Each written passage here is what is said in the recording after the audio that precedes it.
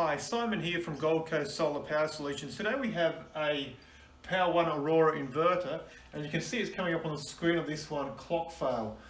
So if it's coming up with clock fail like that, it most likely means the battery inside the inverter uh, has, has failed and it's so the inverter's just not keeping the time anymore. Now it's not a problem with the inverter's output, it doesn't affect the output at all but it just comes up with this annoying clock fail message and you can't go through the inverter to actually see the time and date. So uh, any logging data won't be won't show the correct date stamp. So if you want to replace the battery inside the inverter, what you need is a little, what are these, little button batteries, CR2032 size. You will need a T20 Torx bit to undo the four screws on the inverter here. And I recommend a pair of long nose pliers as well, just to pull the battery out. So what we do first off is we turn the inverter off, and you always do that by following, following the shutdown procedure, which is something like this. Turn off the solar supply main switch or inverter AC isolator. Solar supply main switch is always in your switchboard. In this case, we've got an inverter AC isolator. You may or may not have one of these, but if you do, turn it off. If not, turn off the solar supply main switch in the switchboard. Then we turn off the PVA DC isolator located at the inverter. So we've got that over here. So we just throw that off and we wait for the inverter to go completely dead, completely blank on the screen. And that's when it'll be safe to open up the inverter. Make sure there's no voltages which are going to give you a, a shock inside the inverter when you open it up. I'll just start taking the cover off now anyway. There we go. So it's gone off there now.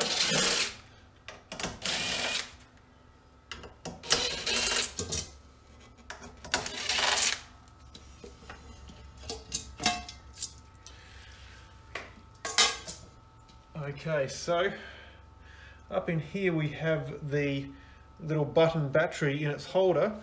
So what I recommend doing is with a pair of long nose pliers, we grab it on the right hand side. You can should be able to lift it up a bit. And then pull it out like so. So we get our new battery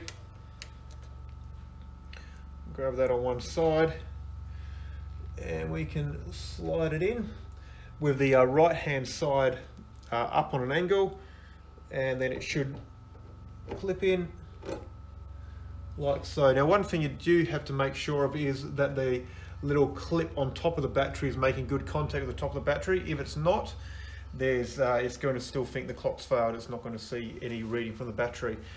So we've got all that sorted out there. I'm just going to put the cover back on now. Oops.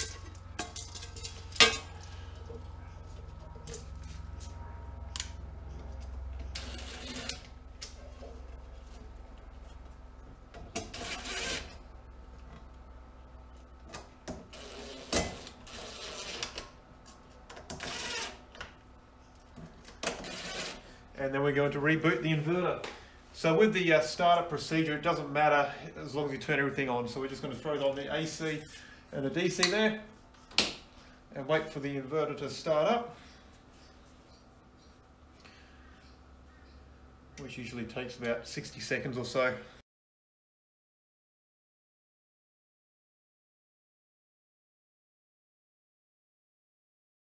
Okay, so the inverter's just start it up again. We've got the green power light on. And if we scroll through now.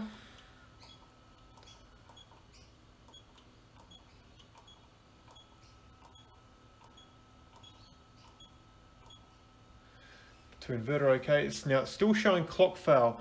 What we need to do is actually reset the clock now. So what we do is we press the escape button and we go to the menu system, we want to go to settings. So we scroll down, press the down button on setting, and, on, and when it gets to settings, we just press enter. The generic password is 0000, so just press enter, enter, enter, enter. And then we want to go down to time. There we go. Press enter on that. And we just need to set the time. So check out what the, the local time is.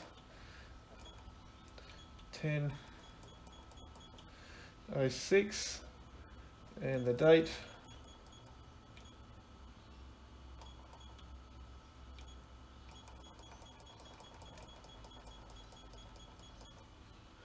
and once you've got that all set up just press enter on that and that'll save it. Now uh, it's not a bad idea to go to the cash one as well and you can change that from euro which is the standard dollar symbol well standard currency symbol I should say Change that to AUS in our case, we're in Australia. And the, the value per kilowatt hour in Australia, that's not usually going to be all that accurate anyway because the inverter doesn't know how much you're selling the power for as surplus and how much your how much of the solar power is actually being used on your property and how much of the power is being sent back to the grid as surplus. And usually the, the rate you get paid for surplus power is different to the rate you get paid for power that uh, the solar power which is actually consumed on your property. So it's never going to be accurate. So I, I normally just set it to a, a pretty generic figure like 20 cents. That's a, a sort of halfway mark sort of thing. We press escape now and you see it now comes up with inverter OK and it's got the date saved. So that's how you change a a flat battery on a Power One Aurora or ABB inverter. Thanks for watching this video. I hope it's been helpful for you.